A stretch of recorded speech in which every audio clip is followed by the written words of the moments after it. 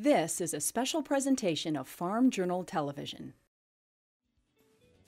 Hey, you found us. I'm Clinton Griffiths and welcome to Corn College TV. Today, we're taking a sharp look at a microscopic enemy.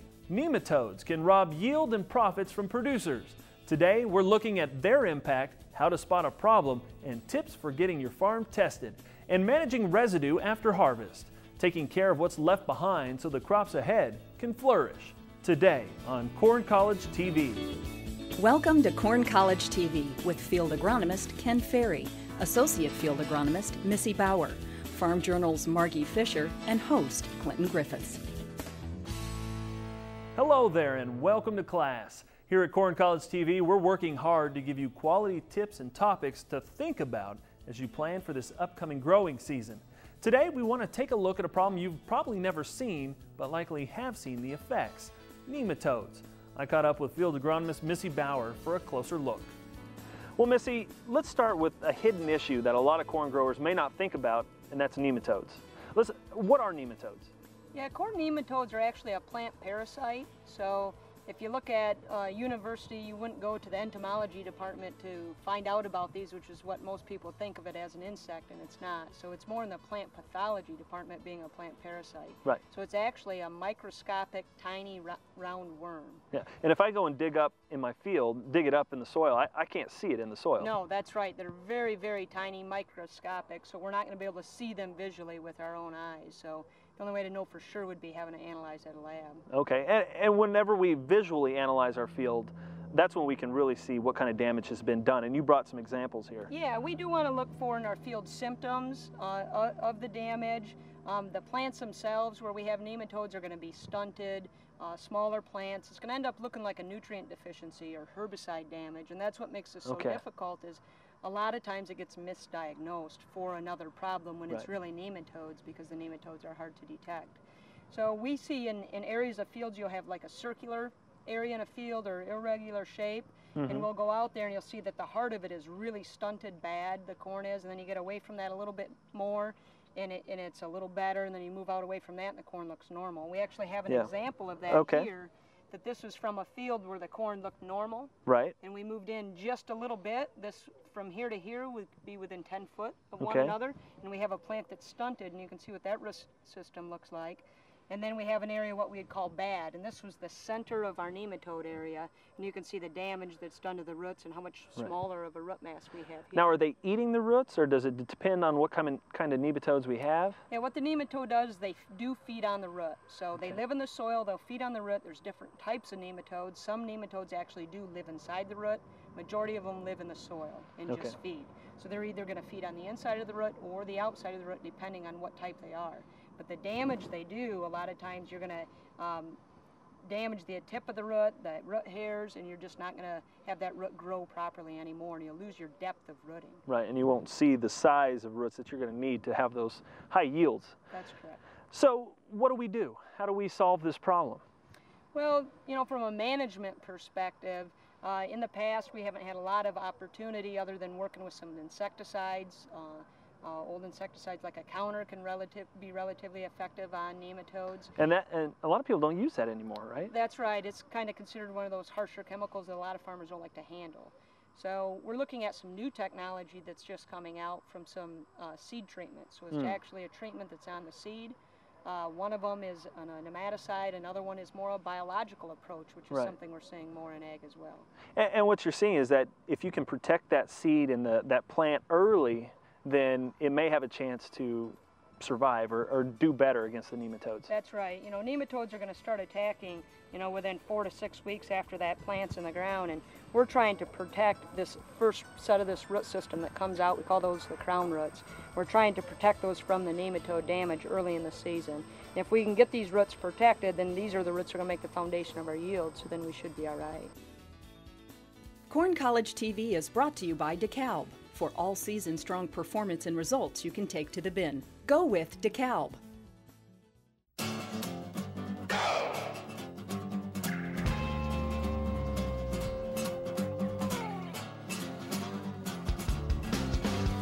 Go with the brand that gets results with strong roots and strong stalks for performance you can take to the bin. Go with industry-leading DeKalb genetics and proven Genuity trait technology, letting you get more from every acre. Go all season strong. Go with DeKalb. Mark your calendar. Ag Connect Expo 2011 is coming to Atlanta, Georgia on January 7th through the 10th. Connect with experts. Learn new ideas, new technology. Connect to the future of agriculture, the newest innovations. Connect globally with producers from around the world. This show sets itself apart from the regional shows. Ag Connect Expo 2011, where the world of agriculture comes together.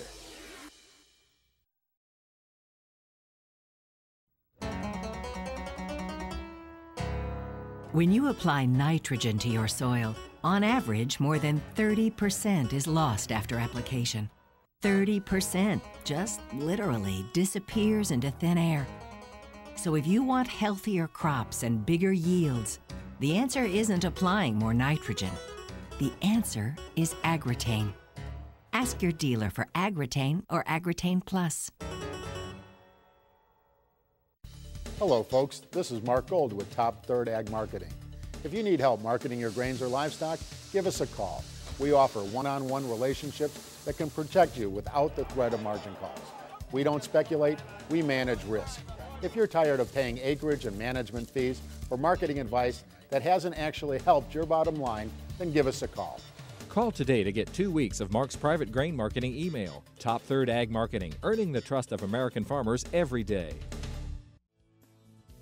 Missy, a lot of people get excited to get out in the field and start harvest, but there's really some work they can do pre-harvest, such as scouting. That's right.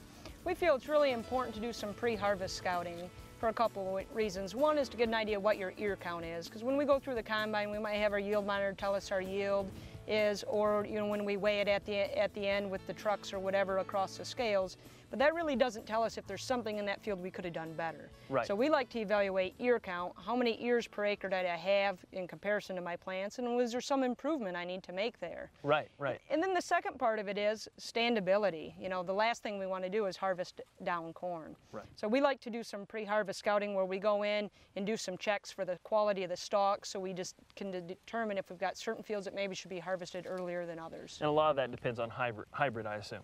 Yeah, that's right, what hybrid it is and whether or not we had any nutrient deficiencies and whether or not we had drought conditions or a lot of stalk rot where we had a lot of rain and opportunity for stalk rots. Okay, well let's, uh, let's do the ear count first. Uh, how do we start that?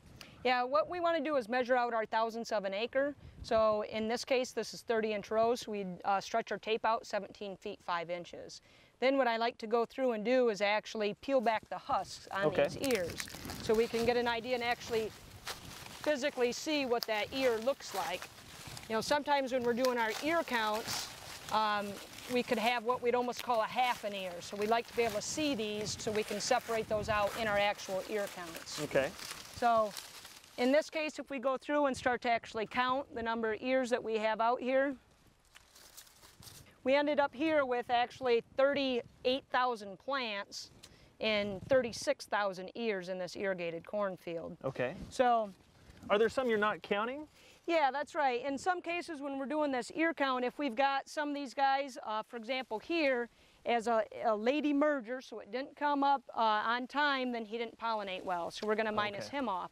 And then the other thing we'll have sometimes uh, is what we'd call kind of partial ears or half ears. So you can see uh, this ear, for example, here, if we take a look at it in comparison to some of these real big uh, nice full ears. It's certainly an ear. I think we can get this harvested, but if we compare it to this, it's really not where we want to be. Right, not so the same size. we'll go ahead and count that as a half an ear. Okay. Uh, and in this example, we had we had two of those, which ended up being a minus one, plus our Lady emerger, so we had a minus two. Okay. So when we look at this, we've got 38,000 plants, 36,000 ears. Um, that differential of about 2,000 uh, is within tolerance. If we're in a corn soybean rotation, we like to have that on average within about 1,200. But in a corn on corn rotation like this is, we'll allow that to about 2,000 on average. So uh, that's what we're going for. Again, in an irrigated field, we're going to be pushing populations high like we are here today. Okay. So then how do we know if we have enough ear population out here? That's right. When we're trying to determine, when we do our final ear count, some people ask the question, was that enough? You know, do I have enough ears right. per acre or do I, do I need to push my populations higher?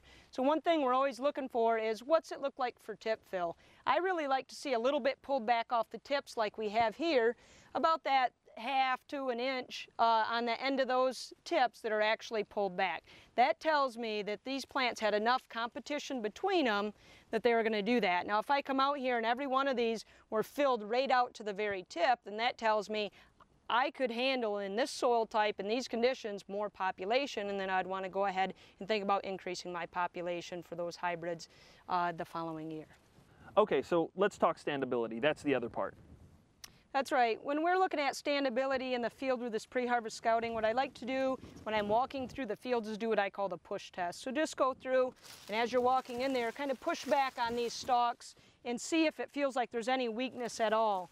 Uh, if, I, if I go ahead and push back on it and it wants to kind of snap or break down here, oh, right, yeah. then now I know I've got a potential weak stalk here. Okay. So then I'm going to want to do a little bit more investigating. And what I'm going to do is actually look at the insides of some of these um, uh, plants and stalks. We're going to go ahead and actually split one open. Okay. And what does the inside tell us? What we're looking at is what kind of um, cannibalization we have in here. In other words, when this plant goes to actually start to fill, um, it's going to take all the nutrients out of here and uh, move them up into the ear. And right. if that happens too early, then we get what we call uh, the cannibalization of the actual stalk itself. What it looks like in the stalk is um, actually kind of, we call it this cottony or uh, uh, kind of a styrofoam look to it. Right. Okay, and it feels different and it doesn't have a lot of moisture content.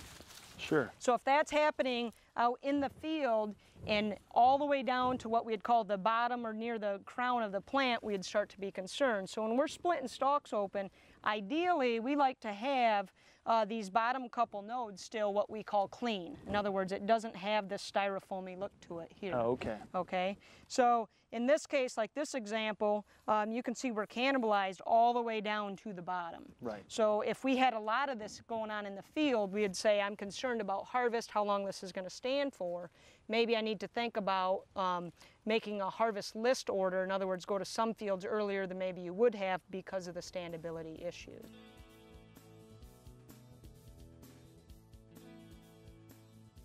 We're going to go ahead and talk about nematode sampling for corn nematodes. So we have two times of the year that we can do this sampling. We can either do it here right at harvest time or we can do it earlier in the season.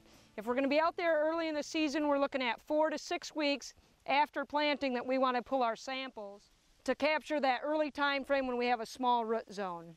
The procedure in general is going to be uh, somewhat similar whether we're out here in the spring or at the end, end of the season. When we pull our cores themselves, we're going to want to make sure we use this probe and we're actually going to try to probe through the root zone. So we're going to come in here with our soil probe at a 45 degree angle, about four to six inches away from the base of the plant and pull our sample. The sample cores that we collect, we're going to put into a Ziploc bag uh, for our sample uh, and put all of those together. We'll do about 10 to 12 cores uh, on average. If we're harvest or sampling at harvest time, we want to have a 12 inch core because these nematodes have moved a little bit deeper. If we're doing the four to six weeks after planting, we're going to be looking at more of a six to an eight inch uh, sampling depth. So that, that will depend a little bit based on the time of the year.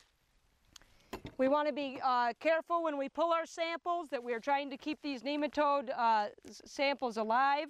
So we want to handle them with care in these Ziploc bags and make sure that we uh, bring a cooler along to keep the samples in. They're going to be very temperature dependent. We don't want these samples to get too hot. So we can keep our samples in the cooler uh, while we're doing that. So that's a few of the basics as far as sampling for nematodes. If we have what we call a hot spot in the field, we're going to approach that a little bit differently. So this is an area that we know is a bad spot.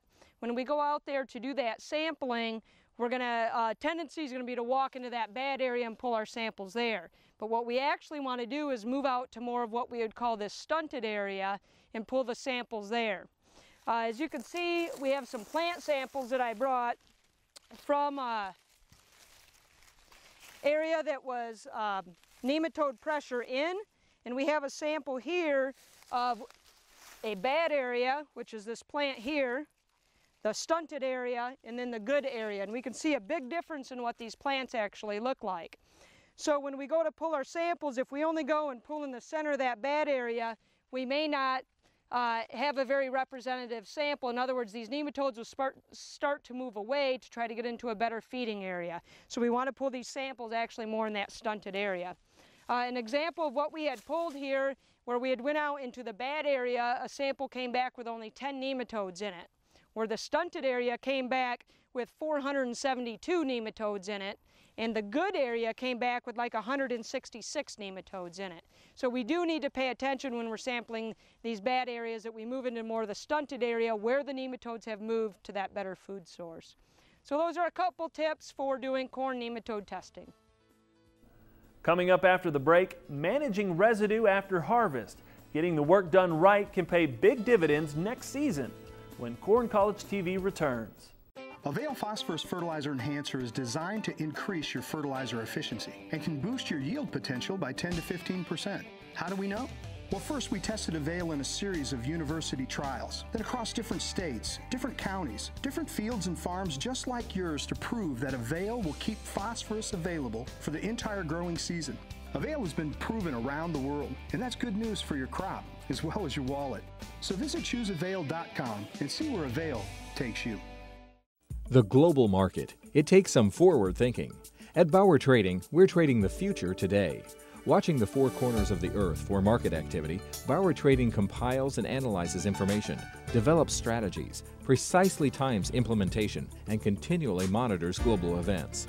Jim Bower's vast experience in this process is why investors, large and small, trust him. Call Bower Trading at 1 800 533 8045. Bower Trading, global experience at work for you. America needs to know that something still works in this country. One of those things that is working well is agriculture. And at U.S. Farm Report, what's crucial to me is to make sure we convey the confident, competent voice that I hear from America's farmers and rural residents, that they can count on us. Rural America works. Agriculture works. Watch U.S. Farm Report Saturday morning and Sunday afternoons on RFD TV. U.S. Farm Report, the spirit of the countryside. Rust is destroying your valuable equipment and property. Rust Guy permanently stops rust the easy way. No scraping, grinding, or sandblasting. Brush, spray, or roll Rust Guy onto any rusted metal and it will not rust again. Rust Guy is not a paint, but an industrial strength formula that kills rust on contact. It leaves a smooth finish that can be left as is or painted. Rust Guy protects from salt, manure, fertilizer, urine, and rain. Call 888 Rust Guy to talk to a rust expert or go to rustguy.com. In today's Ask an Agronomist, viewers want to know about nitrogen inhibitors. Ken Ferrie answers the question, how do I make a smart nitrogen inhibitor decision if I decide to use one in my operation? That's definitely a good question. I, I, especially this year, for some reason, I've found a, a lot of growers maybe not understanding all the different types of inhibitors out there, and they're using the wrong inhibitor in the wrong spot and that may be kind of costly and uh, in money. And at the same time, it may lead to a loss of nitrogen they weren't expecting. Two basic inhibitors out there as far as types. Um, we're going to worry about volatility of nitrogen, which is a loss of ammonia nitrogen um, from the volatility of urea. So urea comes, of course, as urea granule applied to the surface, and then your liquid uh, applications of 32 or 28 percent are half urea. When the urease enzyme breaks down that urea, there is a period in there where we have ammonia that can be created, and if it's not incorporated into the soil through tillage or rain, it can volatilize and get away from us. And this could happen uh, in, in a matter of two or three days, and there could be a substantial loss, maybe 20, 30% of the urea portion of the nitrogen off the volatility. So that type of inhibitor has to be a urease inhibitor to stop that volatility. The other process is when nitrogen is converted into a nitrate from an ammonium source, NH4. And in this process, when it's converted to a nitrate, it can be leached away or it can be denitrified as a nitrate. And we need to stop the breakdown. And the breakdown goes from ammonium to nitrite to nitrate. And we need to stop the nitrosomonas bacteria from driving this process. So in this case, you're looking for a nitrogen inhibitor that's going to stop nitrification. Totally different than the one that's going to stop your urease inhibitor. So a person could put this type of inhibitor on, a nitrogen application he made to the surface, and still consider, have considerable loss due to volatility. Or you could take this inhibitor, which is designed to protect surface nitrogen, and put it in your nitrogen mix and knife it in the soil, and it really wouldn't be needed because you're incorporating that nitrogen in the soil to prevent that type of loss.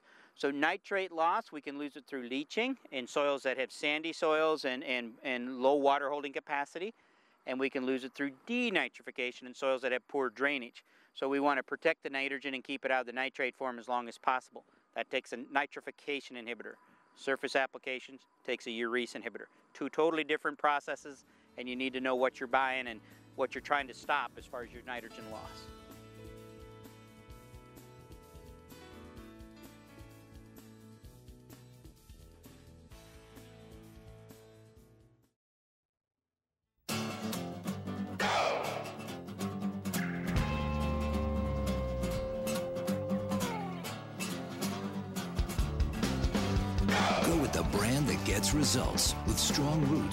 Stocks for performance you can take to the bin.